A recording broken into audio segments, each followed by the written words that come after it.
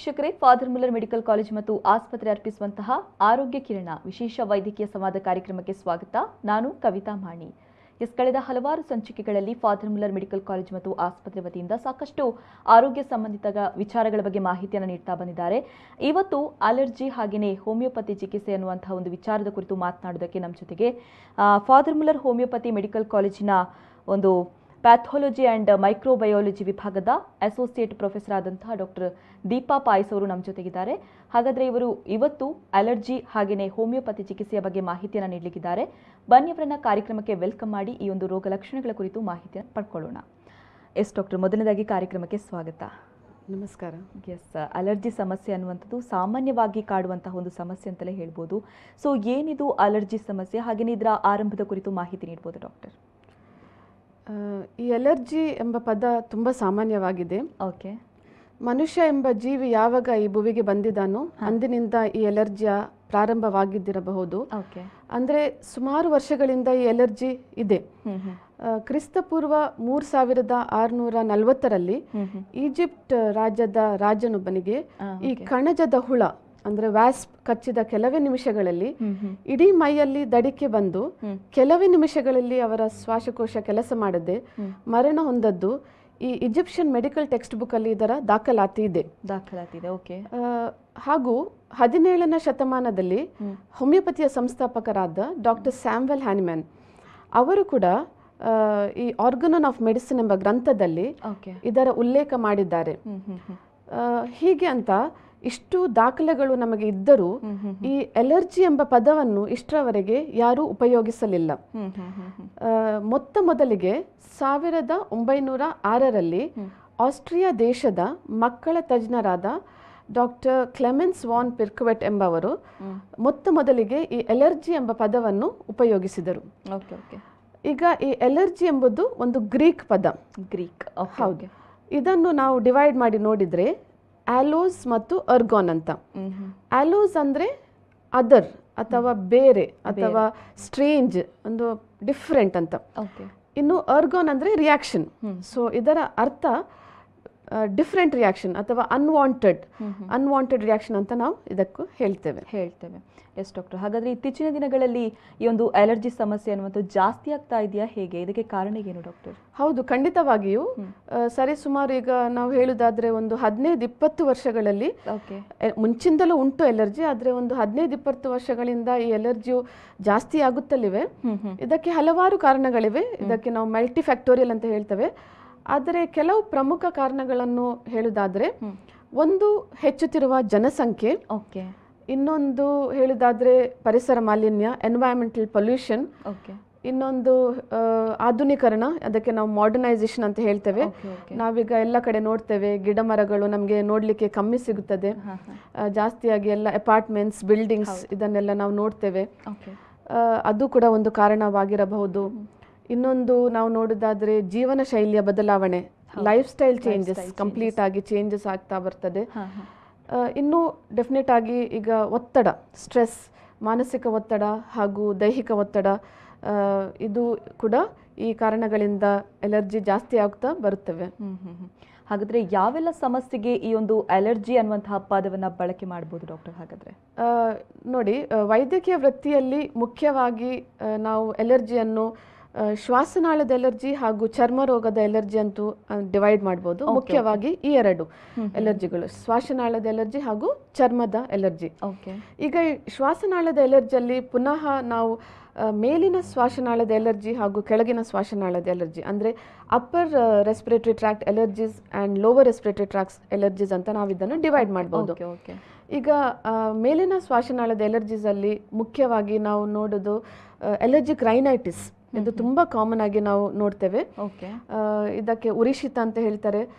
ಇದು ಎಡೆಬಿಡದ ಸೀನು ಮುಂಜಾನೆ ಸೀನು ಮೂಗ್ ತುರಿಕೆ ಕಣ್ಣು ಕೆಂಪಾಗುದು ಮತ್ತೆ ಕಣ್ಣು ತುರಿಕೆ ಇವೆಲ್ಲ ಇದರ ಲಕ್ಷಣಗಳು.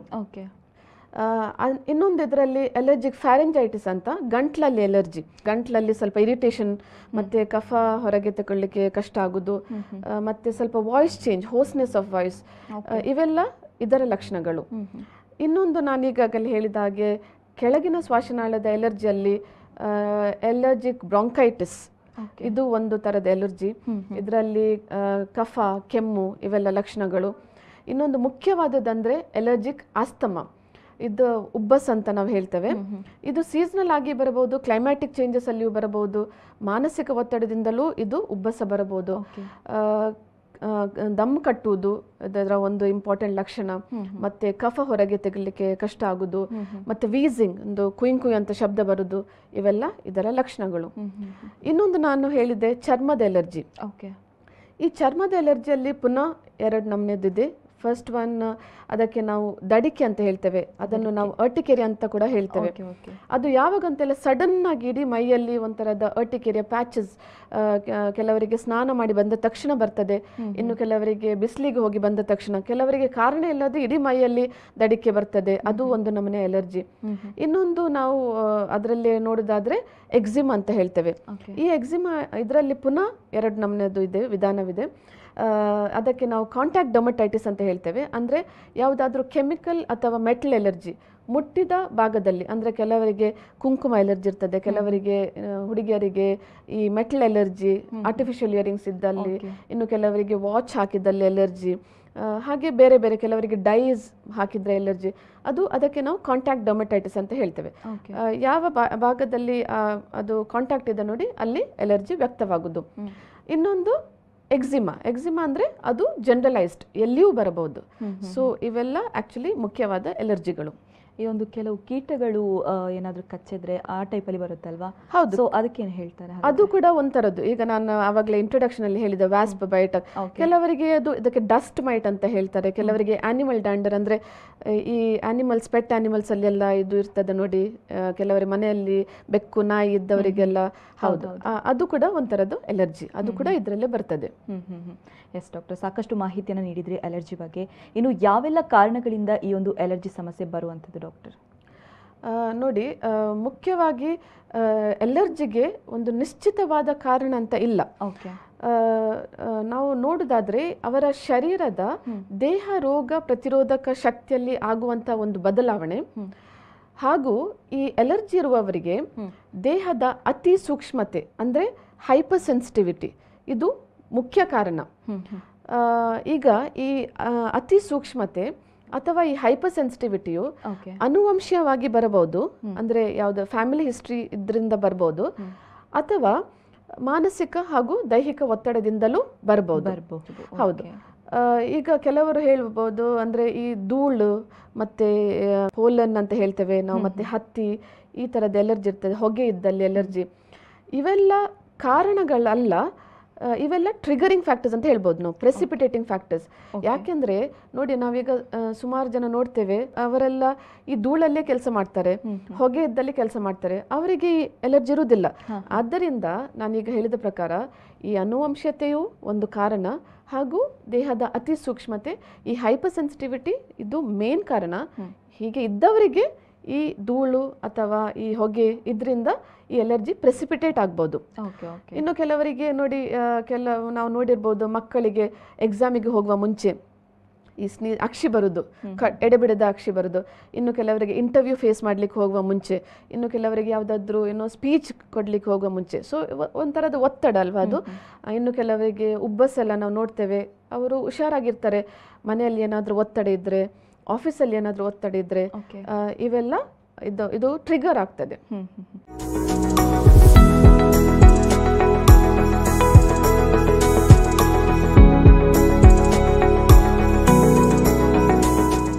ಬ್ರೇಕ್ನ ಬಳಿಕ ಫಾದರ್ ಮುಲ್ಲರ್ ಮೆಡಿಕಲ್ ಕಾಲೇಜ್ ಮತ್ತು ಆಸ್ಪತ್ರೆ ಅರ್ಪಿಸುವಂತಹ ಆರೋಗ್ಯ ಕಿರಣ ವಿಶೇಷ ವೈದ್ಯಕೀಯ ಸಂವಾದ ಕಾರ್ಯಕ್ರಮಕ್ಕೆ ಮತ್ತೊಮ್ಮೆ ಸ್ವಾಗತ. ಎಸ್ ಡಾಕ್ಟರ್ ಆಗಲೇ ಹೇಳ್ತಾ ಇದ್ರಿ ಅಲರ್ಜಿ ಬರೋದಕ್ಕೆ ಯಾವೆಲ್ಲ ರೀಸನ್ಸ್ ಇದೆ ಅನ್ನೋದನ್ನ ತಿಳಿಸ್ಕೊಡ್ತಾ ಇದ್ರಿ. ಇನ್ನು ಅಲರ್ಜಿ ಅನ್ನುವಂಥದ್ದು ಅನುವಂಶೀಯತೆ ಅಥವಾ ವಂಶಪಾರಂಪರಿಕವಾಗಿ ಬರುತ್ತಾ? ಹೇಗೆ ಅನ್ನುವಂಥದ್ದು ಡಾಕ್ಟರ್? ಹೌದು ಅನುವಂಶೀಯತೆ ಒಂದು ಕಾರಣವಾಗಿರ್ತದೆ. ಓಕೆ. ಸಾಮಾನ್ಯವಾಗಿ ನಾವು ನೋಡೋದಾದ್ರೆ ಈಗ ಮಕ್ಕಳಲ್ಲಿ ಎಲರ್ಜಿ ನೋಡಿದ್ರೆ ಉಂಟಂತ ಗೊತ್ತಾದ್ರೆ ಅವರ ತಂದೆ ತಾಯಿಯಲ್ಲಿ ಇರ್ತದೆ ಅಥವಾ ಅವರ ಅಣ್ಣ ತಮ್ಮಂದಿರಲ್ಲಿ ಅಥವಾ ಅಜ್ಜ ಅಜ್ಜಿ ಅಂದ್ರೆ ನಾವು ಫಸ್ಟ್ ಡಿಗ್ರಿ ರಿಲೇಟಿವ್ಸ್ ಅಲ್ಲಿ ಜಾಸ್ತಿಯಾಗಿ ಕಂಡು ಬರುತ್ತದೆ. ಓಕೆ ಓಕೆ ಆ, ಅನುವಂಶತೆ ಒಂದು ಕಾರಣ. ಆದರೆ ಅನುವಂಶತೆ ಕಾರಣ ಆದರೂ ಅದು ಬೈ ಬರ್ತ್ ಅಂತ ಇರುವುದಿಲ್ಲ ಅಂದ್ರೆ ಮಗು ಹುಟ್ಟಿದ ತಕ್ಷಣ ಈಗ ತಂದೆ ತಾಯಿಗೆ ಎಲರ್ಜಿ ಇದ್ದು ಆ ಹುಟ್ಟಿದ ಮಗು ತಕ್ಷಣ ಅವ್ರಿಗೆ ಅದಕ್ಕೆ ಎಲರ್ಜಿ ಬರ್ ಬರ್ಬೇಕಂತ ಇಲ್ಲ. ಅದಕ್ಕೆ ಬೇರೆ ಬೇರೆ ಕಾರಣಗಳಿರುತ್ತವೆ. ಕೆಲವೊಮ್ಮೆ ಮಕ್ಕಳಲ್ಲಿ ಎಲರ್ಜಿ ವ್ಯಕ್ತವಾಗಬಹುದು. ಆದಷ್ಟು ಬೇಗ ಐದು ವರ್ಷಗಳಲ್ಲಿ ಹತ್ತು ವರ್ಷಗಳಲ್ಲಿ. ಇನ್ನು ಕೆಲವರಿಗೆ ಸ್ವಲ್ಪ ಮೇ ಬಿ ಅಡಾಲಿಸೆಂಟ್ ಅಂದ್ರೆ ಕಾಲೇಜಿಗೆ ಹೋಗುವಾಗ ಇನ್ನು ಕೆಲವರಿಗೆ ಇಪ್ಪತ್ತು ವರ್ಷದ ನಂತರ ಕೂಡ ಎಲರ್ಜಿ ವ್ಯಕ್ತವಾಗಬಹುದು. ಹಾಗೂ ಅದೇ ರೀತಿ ಅಲರ್ಜಿ ಇರಬೇಕಂತ ಇಲ್ಲ. ಅಂದರೆ. ತಂದೆ ತಾಯಿಯವರಿಗೆ ಸ್ಕಿನ್ ಅಲರ್ಜಿ ಇದ್ದರೆ ಮಕ್ಕಳಿಗೆ ಶ್ವಾಸನಾಳದ ಅಲರ್ಜಿ ಇರ್ಬೋದು. ಹಾಗೆ ವೇರಿಯಬಿಲಿಟಿ ಇರ್ತದೆ. ಇನ್ನು ನಾನು ಹೇಳಿದ ಪ್ರಕಾರ ಈಗ ಆಟ್ ಬರ್ತೆ ಈ ಅಲರ್ಜಿ ಇರುವುದಿಲ್ಲ ಪರ್ಟಿಕ್ಯುಲರ್ ಟೈಮಲ್ಲಿ ಮೇ ಬಿ ಅವರಿಗೆ ಒತ್ತಡ ಜಾಸ್ತಿ ಆದ ಟೈಮಲ್ಲಿ ಈಗ ಮಕ್ಕಳಿಗೆ ಒಂದು ಸ್ಕೂಲಿಂದ ಇನ್ನೊಂದು ಸ್ಕೂಲಿಗೆ ಹಾಕುವಾಗ ಅಥವಾ ಫ್ರೆಂಡ್ಸಲ್ಲಿ ಸ್ವಲ್ಪ ಚೇಂಜಸ್ ಆದಾಗ ಅಥವಾ ಏನಾದರೂ ಈಗ ಮಕ್ಕಳಿಗೆ ಕೂಡ ಒತ್ತಡ ಇರ್ತದೆ. ಹಾಗೆ ಯಾವುದಾದ್ರೂ ಒತ್ತಡ ಇದ್ದರೆ ಈ ಎಲರ್ಜಿ ವ್ಯಕ್ತವಾಗಬಹುದು. ಸೊ ಅನುವಂಶೀಯತೆ ಮಾನಸಿಕ ಕಾರಣಗಳು ದೈಹಿಕ ಕಾರಣಗಳು ಹಾಗೂ ನಮ್ಮ ಪ್ರಕೃತಿ ಕಾರಣಗಳು ಇವೆಲ್ಲ ಒಟ್ಟಿಗೆ ಸೇರಿದಾಗ ಈ ಎಲರ್ಜಿ ವ್ಯಕ್ತವಾಗಬಹುದು. ವ್ಯಕ್ತವಾಗುತ್ತೆ. ಓಕೆ ಡಾಕ್ಟರ್ ಹಾಗಾದ್ರೆ ಆಗಲೇ ಹೇಳಿದ್ರಿ ನೀವು ಶ್ವಾಸನಾಳದ ಅಲರ್ಜಿ ಹಾಗೆಯೇ ಚರ್ಮದ ಅಲರ್ಜಿ ಬಗ್ಗೆ ಹೇಳ್ತಾ ಇದ್ರಿ. ಸೊ ಇದಕ್ಕೆ ಯಾವೆಲ್ಲ ರೀತಿಯ ಟ್ರೀಟ್ಮೆಂಟ್ ಇದೆ ಅನ್ನುವಂಥದ್ದು ಡಾಕ್ಟರ್ ಓಕೆ ಸೊ ಹೋಮಿಯೋಪತಿಯಲ್ಲಿ ಈ ಎಲರ್ಜಿ ಚಿಕಿತ್ಸೆ ಎಲರ್ಜಿಗೆ ಚಿಕಿತ್ಸೆ ನಾವು ಕೊಡುವಾಗ ಮೂರು ರೀತಿಯ ಚಿಕಿತ್ಸೆ ವಿಧಾನಗಳಿವೆ. ಈ ಮೂರು ರೀತಿಯ ಚಿಕಿತ್ಸೆ ವಿಧಾನದಲ್ಲಿ ನಾವು ಯಾವ್ದು ರೋಗಿಗೆ ನಾವು ಏನೋ ಆ ಟೈಮಲ್ಲಿ ಸಿಲೆಕ್ಟ್ ಮಾಡೋದಂದ್ರೆ ರೋಗಿ ನಮ್ಮ ಹತ್ತಿರ ಯಾವ ಲಕ್ಷಣಗಳನ್ನು ಹೊಂದಿಕೊಂಡು ಫಸ್ಟ್ ಟೈಮ್ ಬರ್ತಾರೆ ನೋಡಿ ಅದರ ಮೇಲೆ ಅದನ್ನು ನಾವು ಡಿಸೈಡ್ ಮಾಡ್ತೇವೆ.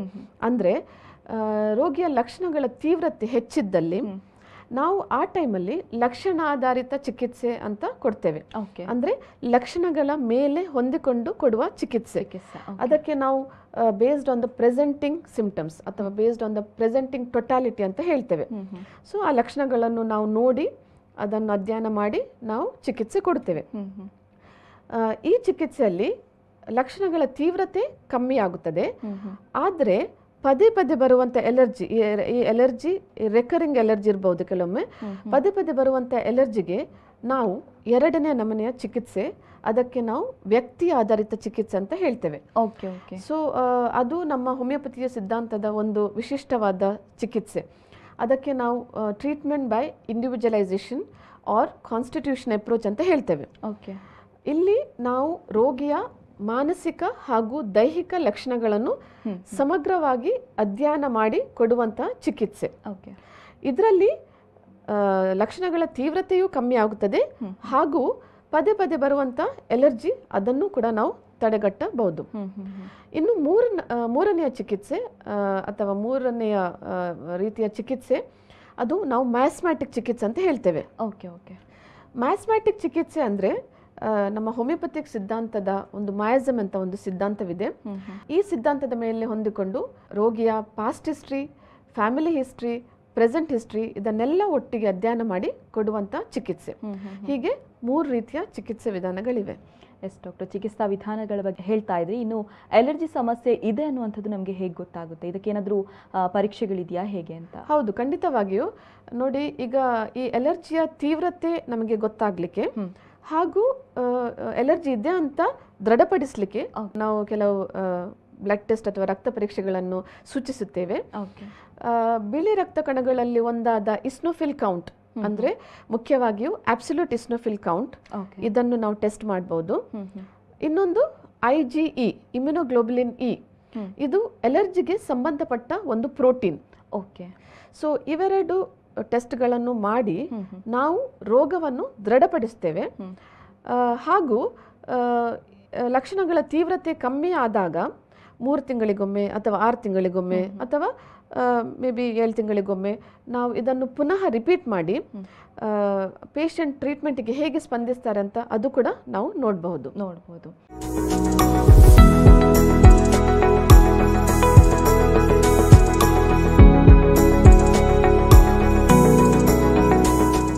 ಬ್ರೇಕ್ನ ಬಳಿಕ ಫಾದರ್ ಮುಲ್ಲರ್ ಮೆಡಿಕಲ್ ಕಾಲೇಜ್ ಮತ್ತು ಆಸ್ಪತ್ರೆ ಅರ್ಪಿಸುವಂತಹ ಆರೋಗ್ಯ ಕಿರಣ ವಿಶೇಷ ವೈದ್ಯಕೀಯ ಸಂವಾದ ಕಾರ್ಯಕ್ರಮಕ್ಕೆ ಮತ್ತೊಮ್ಮೆ ಸ್ವಾಗತ. ಎಸ್ ಡಾಕ್ಟರ್ ಅಲರ್ಜಿ ಬಗ್ಗೆ ಸಾಕಷ್ಟು ಮಾಹಿತಿಯನ್ನು ನೀಡ್ತಾ ಇದ್ರಿ. ಇನ್ನು ಈ ಒಂದು ಅಲರ್ಜಿ ಅನ್ನುವಂತಹ ಒಂದು ಸಮಸ್ಯೆಗೆ ನೀವು ಚಿಕಿತ್ಸೆಯನ್ನು ನೀಡುವಂತಹ ಸಂದರ್ಭದಲ್ಲಿ ಅಂದರೆ ಹೋಮಿಯೋಪತಿ ಚಿಕಿತ್ಸೆ ನೀಡುವಂತಹ ಸಂದರ್ಭದಲ್ಲಿ ಏನಾದರೂ ಆಹಾರ ಪಥ್ಯಗಳನ್ನು ಪಾಲನೆ ಮಾಡಬೇಕಾ ಹೇಗೆ ಅಂತ? ನೋಡಿ ಈಗ ಈ ಹೋಮಿಯೋಪತಿ ಚಿಕಿತ್ಸೆ ಕೊಡುವಾಗ ಎಲರ್ಜಿಗೆ ಅಂತ ಪರ್ಟಿಕ್ಯುಲರ್ ಆದ ಪಥ್ಯ ಇಲ್ಲ. ಆದ್ರೆ ಇದು ಒಂದು ರೋಗಿಯಿಂದ ಇನ್ನೊಂದು ರೋಗಿಗೆ ವೇರಿ ಆಗ್ತದೆ. ಅಂದ್ರೆ ಕೆಲವರಿಗೆ ಈ ಹಾಲು ಮತ್ತು ಹಾಲಿನ ಉತ್ಪನ್ನಗಳನ್ನು ತೆಕೊಂಡಲ್ಲಿ ಎಲರ್ಜಿ ವ್ಯಕ್ತವಾಗಬಹುದು. ಇನ್ನು ಕೆಲವರಿಗೆ ಈ ಸೀ ಫುಡ್ ಅದನ್ನು ತೆಕೊಂಡ್ರೆ ಕೆಲವು ಎಲರ್ಜಿ ಆಗ್ಬೋದು. ಇನ್ನು ಕೆಲವರಿಗೆ ಮಶ್ರೂಮ್ ಎಲರ್ಜಿ ಹಾಗೆ ಬೇರೆ ಬೇರೆ ರೀತಿಯ ಎಲರ್ಜಿಗಳಿವೆ ಆದ್ದರಿಂದ ನಾವು ಪರ್ಟಿಕ್ಯುಲರ್ ಚಿಕಿತ್ಸೆ ಆಹಾರ ಪದ್ಧತಿಯಲ್ಲಿ ವೇರಿಯೇಷನ್ಸ್ ಅಂತ ನಾವು ಜಾಸ್ತಿಯಾಗಿ ಹೇಳುದಿಲ್ಲ ಇಂತಹ ಆಹಾರಗಳ ಸೇವನೆಯಿಂದ ಈ ಎಲರ್ಜಿ ಪುನಃ ಪುನಃ ಮರುಕಳಿಸಬಹುದು. ಆದ್ದರಿಂದ ಈ ಎಲರ್ಜಿಯ ಪುನರಾವರ್ತನೆಯನ್ನು ತಡೆಗಟ್ಟಿಸಲು ಕೆಲವು ಸಮಯ ತನಕ ನಾವು ಈ ಆಹಾರಗಳನ್ನು ತ್ಯಜಿಸಲು ಹೇಳ್ತೇವೆ. ಮತ್ತೆ ಈ ಟ್ರೀಟ್ಮೆಂಟ್ ನಾವು ಸ್ಟಾರ್ಟ್ ಮಾಡಿ ಮೇ ಬಿ ಮೂರು ಅಥವಾ ಆರು ತಿಂಗಳ ನಂತರ ಈ ಎಲರ್ಜಿಯ ತೀವ್ರತೆ ಕಮ್ಮಿ ಆದಲ್ಲಿ ಇದೇ ಆಹಾರಗಳನ್ನು ಸ್ವಲ್ಪ ಸ್ವಲ್ಪವಾಗಿ ನಾವು ಅವರಿಗೆ ತಗೊಳ್ಳಿಕ್ಕೆ ಹೇಳ್ತೇವೆ. ಮತ್ತೆ ಜಾಸ್ತಿಯಾಗಿ ನಾವು ಈ ದೀರ್ಘಕಾಲೀನ ರೋಗದಲ್ಲಿ ಅಂದ್ರೆ ಎಲರ್ಜಿ ಕೂಡ ಈ ಒಂದು ದೀರ್ಘಕಾಲೀನ ರೋಗ. ಇದರಲ್ಲಿ ನಾವು ಜಾಸ್ತಿಯಾಗಿ ರೆಕಮೆಂಡ್ ಮಾಡೋದಂದ್ರೆ ಪೌಷ್ಟಿಕ ಆಹಾರ. ಬ್ಯಾಲೆನ್ಸ್. ಡಯಟ್ ಹೌದು ಟೈಮ್ ಟೈಮ್ ಫುಡ್ ತಗೊಳ್ಳೋದು ಮತ್ತೆ ಬ್ಯಾಲೆನ್ಸ್ ಡಯಟ್ ಅನ್ನು ನಾವು ರೆಕಮೆಂಡ್ ಮಾಡ್ತೇವೆ. ಹಾಗಾದ್ರೆ ಇದಕ್ಕೇನಾದರೂ ಮತ್ತೆ ಮತ್ತೆ ರಿಪೀಟ್ ಆಗುವಂಥ ಚಾನ್ಸಸ್ ಏನಾದರೂ ಇದೆಯಾ? ಒಂದ್ಸಲ ಗುಣ ಆದ ನಂತರ? ನೋಡಿ ಇದು ಡಿಪೆಂಡ್ಸ್ ಪೇಷಂಟಿಂದ ಪೇಷಂಟಿಗೆ ಈಗ ಕೆಲವೊಮ್ಮೆ ಕೆಲವರು ಒಂದೇ ತಿಂಗಳ ಮದ್ದು ತಗೊಂಡು ಒಮ್ಮೆ ತೀವ್ರತೆ ಕಮ್ಮಿ ಆಗ್ತದೆ ಆದರೆ ಪುನಃ ಬರ್ತದೆ. ಸೊ ನಿರ್ದಿಷ್ಟವಾಗಿ ಒಂದು ಪರ್ಟಿಕ್ಯುಲರ್ ಆದ ಟ್ರೀಟ್ಮೆಂಟ್ ಪ್ಲಾನ್ ಫಾಲೋ ಮಾಡಿದ್ರೆ ಈ ಎಲರ್ಜಿ ಪುನಃ ಮರುಕಳಿಸುವುದಿಲ್ಲ. ಹಾಗಾದರೆ ಸಂಪೂರ್ಣವಾಗಿ ಸಂಪೂರ್ಣವಾಗಿ ಗುಣಮುಖರಾಗುತ್ತಾರೆ ಎಸ್ ಎಸ್ ಡಾಕ್ಟರ್ ಹಾಗೆಯೇ ಅಲರ್ಜಿಗೆ ಹೋಮಿಯೋಪತಿಯಲ್ಲಿ ಚಿಕಿತ್ಸೆ ಇದೆ ಅಂತ ಆಗಲೇ ಹೇಳ್ತಾ ಇದ್ರಿ. ಸೊ ಎಷ್ಟು ದಿನಗಳ ಕಾಲ ಚಿಕಿತ್ಸೆಯನ್ನ ಮಾಡಬೇಕಾಗುತ್ತೆ ಅನ್ನುವಂಥ ಡಾಕ್ಟರ್ ಇದೊಂದು ಒಳ್ಳೆಯ ಪ್ರಶ್ನೆ. ಯಾಕೆಂದರೆ ನಮ್ಮ ಹತ್ತಿರ ಪೇಷಂಟ್ಸ್ ಬರುವಾಗ ಫಸ್ಟ್ ಕ್ವೆಶ್ಚನ್ ಇರ್ತದೆ ಅವ್ರದ್ದು ನಾವು ಎಷ್ಟು ಸಮಯ ಮದ್ದು ಮಾಡಬೇಕಂತ. ಅಂದರೆ ಈ ಆನ್ಸರಿಗೆ ಹೇಗೆ ನಾವು ಹೇಳುವುದಂದರೆ ಒಂದು ನಾವು ರೋಗಿಯ ಎಷ್ಟು ಸಮಯದಿಂದ ಎಲರ್ಜಿ ಇದೆ ಅಂತ ನಾವು ನೋಡ್ತೇವೆ. ನೋಡಿ ಈಗ ಈ ಹದಿನೈದು ಇಪ್ಪತ್ತು ವರ್ಷಗಳ ಎಲರ್ಜಿ ಒಂದೇ ವಾರದ ಮದ್ದಲ್ಲಿ ಕಮ್ಮಿ ಆಗುದಿಲ್ಲ. ತೀವ್ರತೆ ಕಮ್ಮಿ ಆಗಬಹುದು ಆದ್ರೆ ಈ ಎಲರ್ಜಿ ಪದೇ ಪದೇ ಬರುತ್ತದೆ. ಬರುತ್ತೆ. ಹಾಗೂ ಎಷ್ಟು ಟ್ರೀಟ್ಮೆಂಟ್ ಮಾಡಿದರೆ ಕೆಲವು ಟ್ರೀಟ್ಮೆಂಟ್ ಮಾಡಿ ಬರ್ತಾರೆ.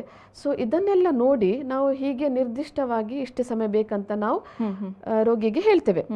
ಇನ್ನು ನೋಡಿ ಕೆಲವರಿಗೆ ಮಕ್ಕಳಿಗೆ ಎಲರ್ಜಿ ಇದ್ದಲ್ಲಿ ಅವರು ಡೈರೆಕ್ಟ್ ಹೋಮಿಯೋಪತಿ ಮೆಡಿಸಿನ್ಗೆ ಕೆಲವೊಮ್ಮೆ ಬರ್ತಾರೆ. ಸೊ ಅವರಲ್ಲಿ ಅವರು ಬೇಗ ಸ್ಪಂದಿಸ್ತಾರೆ ಟ್ರೀಟ್ಮೆಂಟ್ಗೆ ಅವರಿಗೆ ಒಂದು ಸರ್ತಿ ಮೂರರಿಂದ ಆರು ತಿಂಗಳವರೆಗೆ ಎಲರ್ಜಿ ಕಮ್ಮಿ ಆಗಬಹುದು. ಓಕೆ ಆದರೆ ದೀರ್ಘಕಾಲೀನ ಎಲರ್ಜಿ ಈಗ ನಾನು ಹೇಳಿದಾಗೆ ಹತ್ತು ಹದಿನೈದು ವರ್ಷಗಳ ಎಲರ್ಜಿ ಇದು ಇದರಿಂದ ಅಂದರೆ ಅಟ್ಲೀಸ್ಟ್ ನಾನು ಹೇಳಿದಾದರೆ ಆರು ತಿಂಗಳಿಂದ ಒಂದು ವರ್ಷದ ತನಕ ಟ್ರೀಟ್ಮೆಂಟ್ ಮಾಡಬೇಕು. ಹ್ಞೂ ಹ್ಞೂ ಹ್ಮ್. S doctor. ಹಾಗಾದರೆ ಈ ಒಂದು ಕೊನೆಯಲ್ಲಿ ಕೇಳಬೇಕು ಅಂತ ಹೇಳಿದರೆ ಅಲರ್ಜಿ ಅನ್ನುವಂಥದ್ದು, ಅಂದರೆ ಅಲರ್ಜಿ ಕಾಯಿಲೆಯಲ್ಲಿ ಜೀವನ ಶೈಲಿಯ ಪಾತ್ರ ಏನು ಅನ್ನುವಂಥದ್ದು ಡಾಕ್ಟರ್? ಕೊನೆಯದಾಗಿ ಹೇಳಬೇಕು ಅಂತ ಹೇಳಿದ್ರೆ. ಖಂಡಿತವಾಗಿಯೂ ನೋಡಿ ಈಗ ನಾವು ಈ ಚಿಕಿತ್ಸೆ ಬಗ್ಗೆ ಎಲ್ಲ ತುಂಬ ಮಾತಾಡ್ತೇವೆ. ಆದರೆ ನಾನು ಏನು ಹೇಳೋದಂದ್ರೆ ಈ ಚಿಕಿತ್ಸೆಯೊಟ್ಟಿಗೆ ನಮ್ಮ ಜೀವನ ಶೈಲಿಯ ಬದಲಾವಣೆಯು ವೆರಿ ಇಂಪಾರ್ಟೆಂಟ್ ಅಂದರೆ ಜೀವನ ಶೈಲಿಯ ಬದಲಾವಣೆ ಅಂದರೆ ನಮ್ಮ ದೈಹಿಕ ಆರೋಗ್ಯ. ಇದರಲ್ಲಿ ಮೋಸ್ಟ್ ಇಂಪಾರ್ಟೆಂಟ್ ಆಹಾರ ಶೈಲಿ. ಅಂದರೆ ಟೈಮ್ ಟೈಮಿಗೆ ನಾವು ಊಟ ಮಾಡೋದು ಬ್ರೇಕ್ಫಾಸ್ಟ್ ಮೀಲ್ಸ್ ಯಾವುದನ್ನು ಸ್ಕಿಪ್ ಮಾಡಬಾರ್ದು. ಮತ್ತು ಈಗ ಒಂದು ಟ್ರೆಂಡ್ ಇದೆ ಜಾಸ್ತಿಯಾಗಿ ಫಾಸ್ಟ್ ಫುಡ್ ಜಂಕ್ ಫುಡ್ ಇದೆಲ್ಲ ತುಂಬ ಇಷ್ಟ ಎಲ್ಲರಿಗೆ. ಅದಕ್ಕೆ ತಕ್ಕ ಈಗ ನಮಗೆ ಮನೆಯಲ್ಲೇ ಕೂತ್ಕೊಂಡೆ ಮೊಬೈಲ್ಸಲ್ಲಿ ಆ್ಯಪ್ಸ್ ಇದೆ ಮತ್ತು ಆನ್ಲೈನ್ ಡೋರ್ ಡೆಲಿವರಿ ಇದೆ. ಅದರಿಂದ ಇದೆಲ್ಲ ತುಂಬ ಸುಲಭವಾಗಿ ನಮಗೆ ಸಿಗುತ್ತದೆ. ಈ ಜಂಕ್ ಫುಡ್ ಫಾಸ್ಟ್ ಫುಡ್ ಇದರಲ್ಲಿ ಏನಾಗ್ತದೆ ಅಂದರೆ ಅವರು ಫುಡ್ ಕಲರ್ಸ್ ಪ್ರಿಸರ್ವೇಟಿವ್ಸ್ ಮತ್ತು ಟೇಸ್ಟ್ ಮೇಕರ್ಸ್ ಇದೆಲ್ಲ ಇರ್ತದೆ.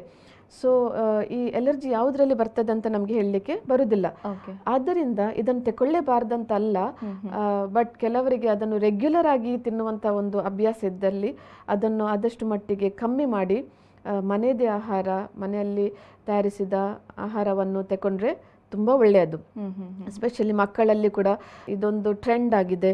ಇದನ್ನು ಆದಷ್ಟು ಮಟ್ಟಿಗೆ ಕಮ್ಮಿ ಮಾಡಿ ಮನೆಯಲ್ಲೇ ಮಾಡಿದ ಆಹಾರವನ್ನು ತಗೊಳ್ಬೇಕು ಇನ್ನು ನೋಡಿ ನಮಗೆ ಎಲ್ಲರಿಗೆ ಇಷ್ಟೇ ನಿರ್ದಿಷ್ಟವಾದ ನಿದ್ರೆ ಬೇಕಂತ ಇದೆ. ಸೊ ಅದನ್ನು ಪಾಲಿಸುವುದು. ಮತ್ತೆ ಬೇಕಾದಷ್ಟು ನೀರು ಕುಡಿಯೋದು ಡೈಲಿ. ಮತ್ತೆ ಇನ್ನೊಂದು ನಮ್ಮ ವ್ಯಾಯಾಮ. ವೆರಿ ಇಂಪಾರ್ಟೆಂಟ್ ಈಗ ನಾವು ನಮ್ಮ ಲೈಫೇ ತುಂಬ ಬ್ಯುಸಿ ಆಗಿದೆ. ಎಕ್ಸಸೈಸ್ ಮಾಡಲಿಕ್ಕೆಲ್ಲ ಟೈಮ್ ಸಿಗೋದಿಲ್ಲ. So exercise in any form either walking brisk walk ಅಥವಾ ವರ್ಕೌಟ್ಸ್ ಅಥವಾ ಸೈಕ್ಲಿಂಗ್ ಸ್ವಿಮ್ಮಿಂಗ್ ಮತ್ತು ಕೆಲವರು ಜುಂಬಾ ಮಾಡ್ತಾರೆ. ಯಾವುದು ಸಹ ಇರ್ಬೋದು. ಎಕ್ಸಸೈಸ್ ಈಸ್ ವೆರಿ ಇಂಪಾರ್ಟೆಂಟ್ ಇದನ್ನೆಲ್ಲ ಒಟ್ಟಿಗೆ ನಾವು ಅಳವಡಿಸಿಕೊಂಡು ಚಿಕಿತ್ಸೆಯನ್ನು ತಗೊಳ್ಬೇಕು. ಇನ್ನೂ ಇನ್ನೂ ಒಂದು ಇಂಪಾರ್ಟೆಂಟ್ ವಿಷಯ ಅಂದರೆ ನಾನು ಈಗಾಗಲೇ ಹೇಳಿದೆ. ಮಾನಸಿಕ ಒತ್ತಡ ಈ ಸ್ಟ್ರೆಸ್ ಸ್ಟ್ರೆಸ್ ಅನ್ನೋದು ಒಂದು ಈಗ ಏನಾಗಿದೆ ಅಂದರೆ ಮುಂಚೆ ಹೇಗಿತ್ತಂದರೆ ಒನ್ಸ್ ಇನ್ ಅವೇ ಸ್ಟ್ರೆಸ್ ಇರ್ತಿತ್ತು. ಈಗ it is become a part and parcel of a life ಅಂದರೆ ಎಸ್ಪೆಷಲಿ ಲಾಸ್ಟ್ ಒನ್ ಇಯರಿಂದ ಎಲ್ಲರಿಗೂ ಈ ಸ್ಟ್ರೆಸ್ ಅಂತ ಇದೆ ಮಾನಸಿಕ ಒತ್ತಡ ದೈಹಿಕ ಒತ್ತಡ. So ನಾವಿದ್ದರೊಟ್ಟಿಗೆ we have to learn to live with it. ಈಗ ಸ್ಟ್ರೆಸ್ ಮ್ಯಾನೇಜ್ಮೆಂಟ್ ಅದರ ಬಗ್ಗೆ ನಾನು ಮಾತಾಡೋದಿಲ್ಲ ಅದು that's altogether different topic but ಒಂದೆರಡು ಮಾತಲ್ಲಿ ಹೇಳೋದಾದರೆ ನಾವು ನಮ್ಮ ಮನಸ್ಸನ್ನು ಸ್ಥಿರತೆಯಲ್ಲಿಟ್ಟು ನಮಗೆ ಅದಕ್ಕೆ ಬೇಕಾದ ಪಾಸಿಟಿವ್ ವೈಬ್ಸ್ ಪಾಸಿಟಿವ್ ಥಿಂಕಿಂಗ್ ಹಾಗೂ ಈಗಾಗಲೇ ಹೇಳಿದ ಹಾಗೆ ಯೋಗ ಮೆಡಿಟೇಷನ್ ಮತ್ತು ನಮ್ಮ ಪ್ರೇಯರ್ ಲೈಫ್ ನಮ್ಮ ಸ್ಪಿರಿಚುವಲ್ ಹೆಲ್ತ್ ಇದನ್ನೆಲ್ಲ ಬ್ಯಾಲೆನ್ಸ್ ಮಾಡಿ ಅದರೊಟ್ಟಿಗೆ ಈ ಚಿಕಿತ್ಸೆಯನ್ನು ತಗೊಂಡು ಈ ನಮ್ಮ ಆರೋಗ್ಯವನ್ನು ಕಾಪಾಡಬೇಕೆಂದು ಹೇಳಲು ಇಚ್ಛಿಸುತ್ತೇನೆ. ಈ ಎಲ್ಲ ನಿಯಮಗಳನ್ನು ಪಾಲನೆ ಮಾಡಿದ್ರೆ ಆರೋಗ್ಯ ಕೂಡ ಉತ್ತಮವಾಗಿ ಹೇಳ್ತಾ ಇದ್ದೀವಿ ಎಸ್ ಡಾಕ್ಟರ್ ಇಷ್ಟು ಹೊತ್ತು ನಮ್ಮ ಜೊತೆಗಿದ್ದು ಈ ಒಂದು ಅಲರ್ಜಿ ಸಮಸ್ಯೆ ಬಗ್ಗೆ ಸಾಕಷ್ಟು ಮಾಹಿತಿಯನ್ನು ನೀಡಿದ್ರಿ. Thank you so much doctor S ನೋಡಿದ್ರಲ್ವ ವೀಕ್ಷಕರೇ? ಅಲರ್ಜಿ ಸಮಸ್ಯೆ ಅನ್ನುವಂಥದ್ದು ಯಾವೆಲ್ಲ ಕಾರಣಗಳಿಂದ ಬರುತ್ತೆ? ಸೊ ಇದಕ್ಕೆ ಏನೆಲ್ಲ ಪರಿಹಾರ ಇದೆ ಎಲ್ಲದನ್ನ ಕೂಡ ಡಾಕ್ಟರ್ ತಿಳಿಸ್ಕೊಟ್ರು. ನೀವು ಕೂಡ ಇದರ ಸದುಪಯೋಗವನ್ನು ಪಡೆದುಕೊಳ್ಳಿ ಅಂತ ಹೇಳ್ತಾ, ಇದಾಗಿತ್ತು ಈ ಹೊತ್ತಿನ ವಿಶೇಷ ಕಾರ್ಯಕ್ರಮ. ನಿರಂತರ ಸುದ್ದಿ, ಮಾಹಿತಿ, ಮನೋರಂಜನೆಗಾಗಿ ನೋಡ್ತಾ ಇರಿ ವಿ ನ್ಯೂಸ್ ಇದು ಮುನ್ನುಡಿ, ಮುನ್ನಡೆಗಾಗಿ.